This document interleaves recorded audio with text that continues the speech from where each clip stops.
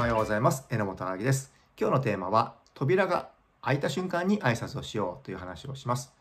えー、これまでもですね、お客様が扉を開けた瞬間に最高のウェルカムをするっていう話をしていると思うんですけども、今日はちょっと角度を変えて、えー、お客様の確認を取る前に、もう扉が開いた瞬間にすぐ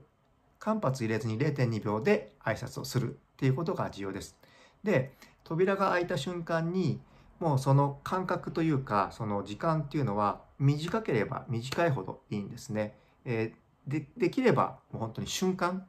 ていうことが重要なのでだからお客様だっていうふうに確認する前に扉が開いたら挨拶をするっていう習慣をつけるそしてスタッフにもそのことを教えるこれがお客様にすごく喜んでもらえるポイントなので是非試してみてください。で、えー、動画の説明欄にはさらに詳しい解説も書いてありますので、是非そちらも読んでみてください。それでは今日も一日張り切っていきましょう。あなたはできる。